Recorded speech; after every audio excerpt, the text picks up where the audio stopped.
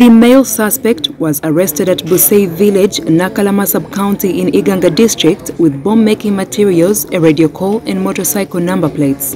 It is alleged that the suspect is part of the ADF suspects who have been raiding different police stations and killing officers.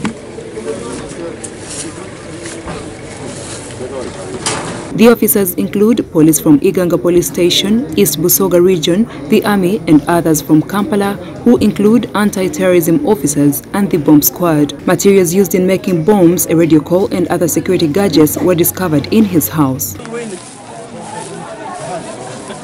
The regional police commander East Busoga region, Samuel Asimwe, said that the suspect is part of the ADF gang that's been terrorizing different police stations and he highlighted the recovered items. The joint security team conducted operation in the region where we managed to arrest one suspect uh, with links to some ADF cells that have been operating across the country. And after the arrest of the suspect, the search was conducted in the house where he has been residing an assortment of exhibits that are related to bomb making were recovered by us and other bomb making materials which are related to.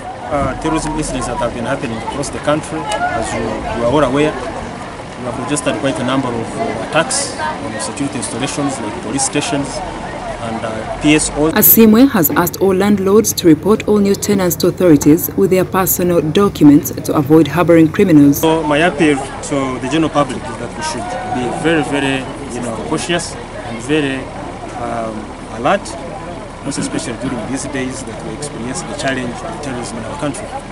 The landlords, the LCs need to ensure that whoever comes seeking for accommodation is introduced to relevant authorities for record keeping.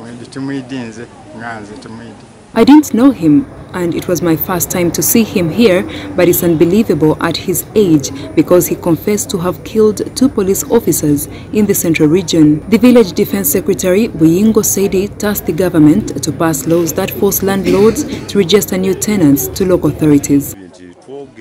We always tell landlords to report new tenants to us, but in vain. We ask the government to force landlords to register tenants so as to avoid such incidents. This suspect was later taken away by security operatives as investigations commenced into the matter. Meanwhile, from the Directorate of Traffic and Road Safety, at least 35 people died in end-of-year road crashes. Farida Nampiima, the traffic police spokesperson, explains that between December 30th and uh, January 1st, a total of 104 road crashes were registered and these claim 35 lives while over 100 are still hospitalized. Nampiima says the majority of these crashes were caused by reckless driving followed by drunken driving. These are the total number of 20 fatals, 39 serious and 17 minors, making a total of 76 crashes caused by reckless driving.